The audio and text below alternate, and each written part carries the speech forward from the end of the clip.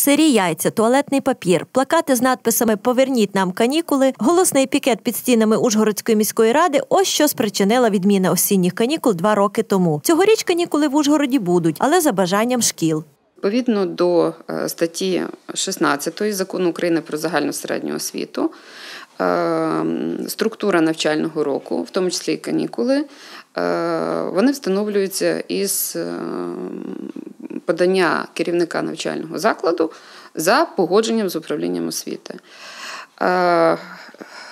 Єдина вимога цієї ж статті 16 полягає в тому, що тривалість канікул упродовж навчального року не повинна бути меншою ніж 13 днів. 12 шкіл вирішили продовжити зимові канікули, а відтак не йти на осінні. Переважно це спеціалізовані школи, ті, хто готується до олімпіад, або ж ті школи, де більшість дітей святкує католицьке різдво. 12 закладів, 12 закладів зараз е, восени не йдуть на канікули, 15 закладів продовжують працювати. Якщо говорити про енергоносії.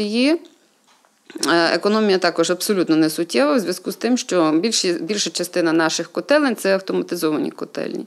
На них встановлений температурний режим, і вони вмикаються не відповідно до канікул чи не канікул, а відповідно до температури повітря. Тим часом, поки одні продовжують навчання, інші вже з наступного тижня будуть відпочивати. Як от ЗОЖ номер 3 Взимку ми відпочиваємо і на католицьке різдво, і тиждень того різдва нашого православного різдва. Так що два тижні ми вважаємо взимку також канікули нормальні.